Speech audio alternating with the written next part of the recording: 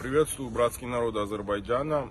Я командир грузинского легиона Мамука Мамуашвили. Хотел бы поприветствовать весь народ, поздравить с Новым годом и поздравить с победой над оккупацией. Э, Это первый шаг э, победы над оккупацией э, на Кавказе. Я думаю, следующей будет Грузия, освобож- освобождающая свои территории от оккупации. Желаю вам счастливого Нового года и всего наилучшего. Я Леван Пипя, замкомандир грузинского легиона.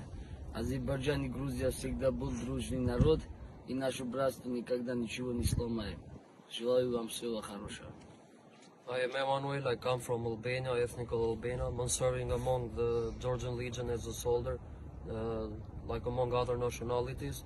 Just want to wish Azerbaijan for their biggest victory in the region of Nagorno-Karabakh.